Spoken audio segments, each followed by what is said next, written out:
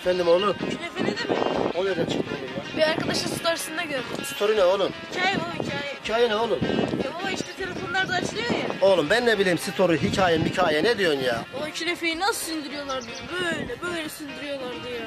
Ya oğlum ben sana künefeyi nereden bulayım ya? Ya deme atsın. Hemen ne lan? O mektubun gelişmiş hali. Bir at bakayım nereye atıyorsun?